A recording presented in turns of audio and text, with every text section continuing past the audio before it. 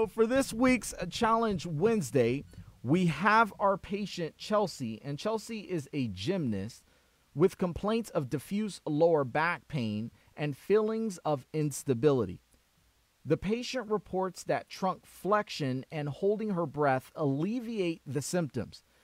During the examination, the therapist finds that the L4 spinous process is anteriorly displaced relative to the segment below. Which of the following is the most likely present? So we have A, L4 5 anterolisthesis. L4 to L5 anterolisthesis. B, lumbarization of the sacrum. C, L4 5 herniated nucleus pulposus. And D is L5S1 anterolisthesis. All right. So let's go up to the top here. We have Chelsea.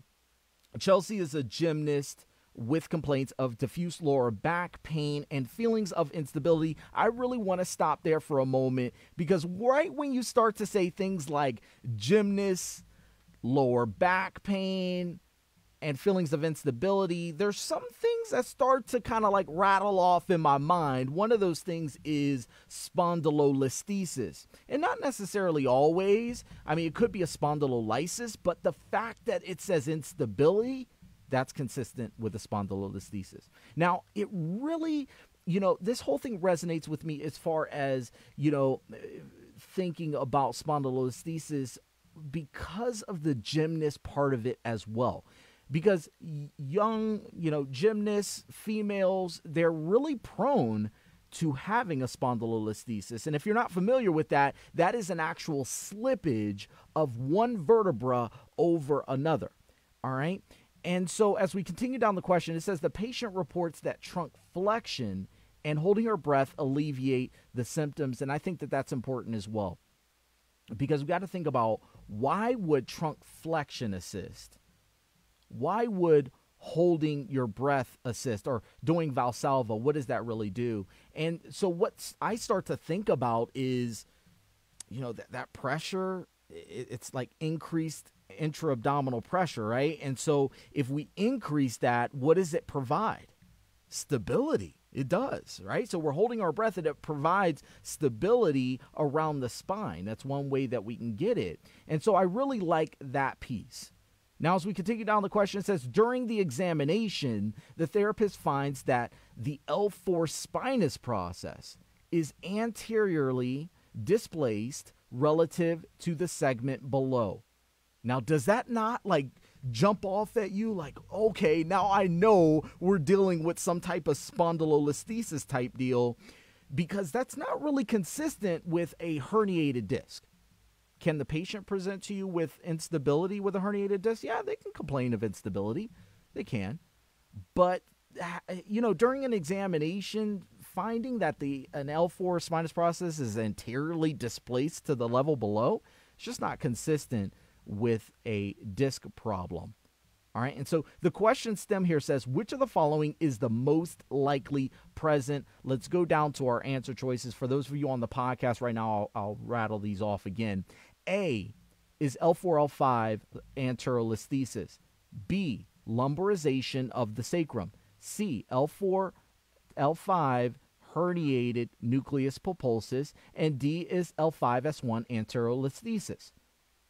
All right, so let's go to work. A is L405 anterolisthesis. That this is a form of a spondylolisthesis. All right, so that's first things first. Okay. Now, when you're looking at a spondylolisthesis, one of the things that is very common. You can find this in your Magee book. You can find this in a lot of your orthopedic texts that talk about spondylolisthesis. They talk about this thing called a step off deformity, step sign, step deformity. There's a bunch of different names for it. And uh, the way you can examine a patient is by running your finger uh, down their lumbar spine, or you can run your finger up their lumbar spine. It doesn't really matter. And what you're feeling for is not just a little bump, but you're also feeling for that anterior displacement of a spinous process relative to the segment below. That's what you're looking for, and it's called a step deformity.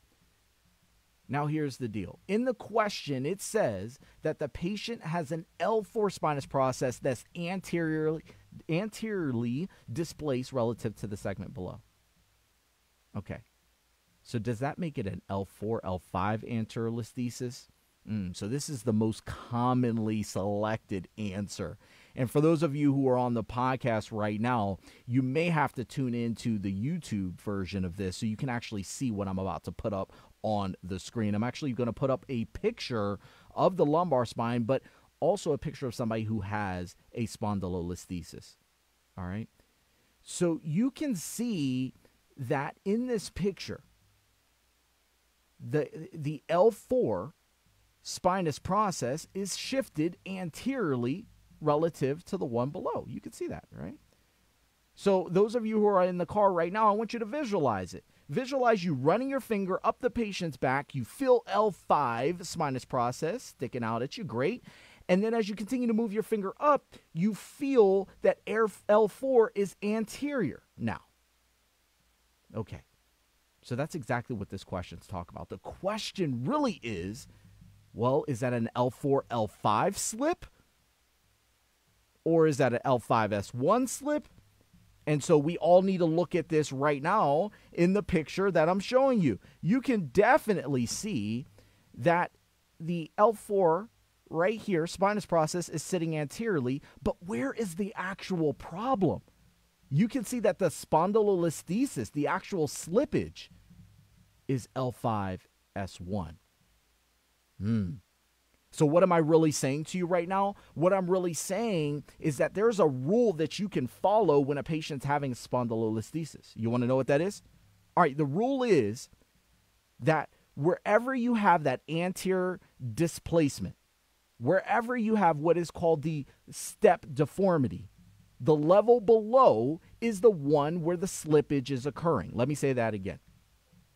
The level of your uh, uh, actual uh, anterior displacement, all right, the level of that, let's say that's L4, and in this case it is, the level below it is actually going to be the one where it has the slippage, or also known as the anterior listhesis. So I don't like A because A is saying that it's happening at L4, L5, and that's not true. That's not true. The slippage isn't happening here in the picture. The slippage is actually happening at the level below it, also known as L5S1. I don't like A. Let's look at B. Lumbarization of the sacrum. I don't like lumbarization of the sacrum. If you don't know what that really means, it's it's where your S1 becomes mobile. It's where your S1 becomes a part of your lumbar spine and it's not fused any longer. And so we actually call it like an L6 instead of S1. And so this isn't as common to happen, but that's exactly what lumbarization of the sacrum is. And is that what I'm dealing with here? The answer to that is no. That's not consistent with an L4 spinous process that's anteriorly displaced. Let's go ahead and put an X next to that. C, L4, L5 herniated nucleus pulposus. Well, we set up in the question that yeah, you could have a, a, person have a herniated disc that complains of instability. They complain of lower back pain. So that's true. But one of the pieces is the patient reports trunk flexion alleviates the symptoms. And with a herniated disc, that's not really that common. A lot of times, if they do like extension repeatedly, something like that, that could reduce the symptoms. But flexion, not typically. All right. But even beyond that, to nail it, nail the coffin shut with this L4L5 herniated disc, we would not expect the L4 spinous process to be sitting anteriorly to the level below. That's not consistent with a herniated disc. I'll put an X next to that one. Let's look at D as our final. It says L5 S1 anterior listhesis, and that's exactly what we were talking about previously. This question really came down to is it an L4L5 anterior listhesis or is it an L5S1 anterior listhesis? And again, we'll go back to our picture. That way we can see all of this again. You're looking at the lumbar spine. This is L5. This is L4. and this is L3. All right, when we run our finger, let's imagine our finger's right here, and we run our finger up the patient's spine, what do you feel? Well, you feel the sacrum as you're running up. Then you feel L5, right? But then as you go up to L4, you notice that now it's sitting anteriorly. It's anteriorly displaced, just like this question is saying. Now, in order for you to name this correctly, you have to know okay, what level is the actual slippage?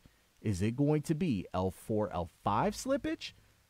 Where L4 is slipping over L5, or is L5 slipping over S1?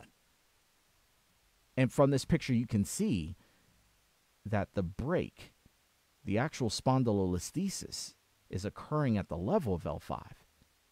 And so L5 is actually slipping over S1 for those of you who need me to go back through that that statement again of how I always look at these, I always look at what level is the one that is anteriorly displaced. So is that L4? All right, so that's L4 in this case. Great.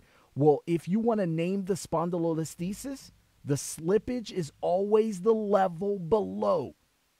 All right. So in this case, it was an L4 spinous process that was anteriorly displaced. And so we go a level below, which would make that L5S1. Final answer here is D, L5S1. I know that was a bit of a trickier one. It all comes down to your ability to you know understand how to look at a step deformity, how to name it. Um, this could be very tricky if you're not understanding, okay, where the slippage is supposed to occur and all of that. So, congratulations to those of you who got this question correct. It is definitely warranted for you to go and spend some time in this area to make sure you're prepared for it on the NPTE. This is one of these common conditions that can easily show up.